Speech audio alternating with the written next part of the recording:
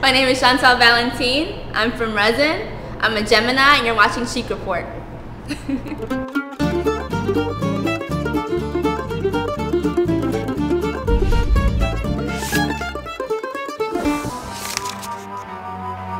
The UK Sun, always a reliable news outlet, reports that Kate Moss has hired an exorcist to get rid of evil spirits in her home.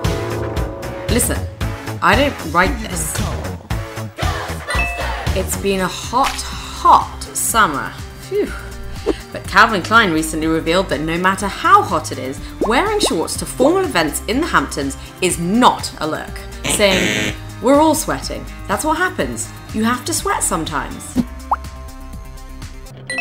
Alyona Doletskaya is stepping down as editor in chief of Russian Vogue. She started Vogue in 1998, Year of the Tiger, and announces her resignation in 2010, also the Year of the Tiger. Just thought you might want to know that.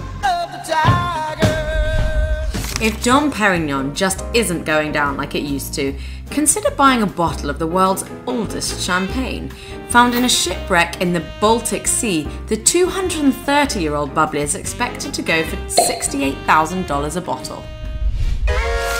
Designer Chantal Valentine has had a fast rise with her denim line Resin, which is available at Barney's and Fred Segal. Not bad for a new kid on the block.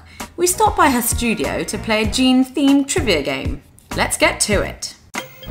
Who invented the American blue jean? Levi's? Levi Strauss? Okay, good. Who else? Hmm, not sure who that would be. Jacob Davis. Oh, Jacob Davis and Levi Strauss. Okay. How much were jeans in 1885? Two dollars? Three dollars? One fifty? Not bad. Not bad. I wasn't alive back then, so how am I supposed to know? what movie star popularized jeans in the movie Rebel Without a Cause? Oh, Stephen Queen? No, no, no. Oh, James Dean. Sorry. I know that. I love him. I have a picture of him on my wall. Well done. okay. What is the dye called that makes jeans blue? Indigo. I didn't know that, I shouldn't have a job. Where are jeans illegal? Jeans are illegal somewhere? Ooh, we want to go there. Um, jeans are illegal? Tibet, like a monastery in Tibet, it would be legal there because you have to wear a robe. Jeans are cool. Wear them.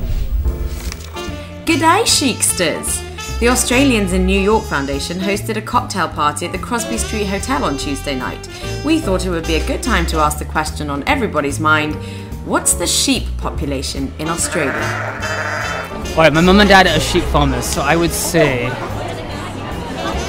gosh, there are more sheep than people. There must be like 43,000. Do I have to answer that? I don't know. 30? No. 30 million sheep? No, it can't be that. 126,000.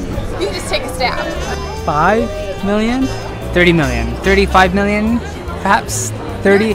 There are 35 to 40 million sheep in Australia. Million? Way too many sheep. Not enough people That's all the chic we have for now. For more fashion headlines, check out dailyfrontrow.com.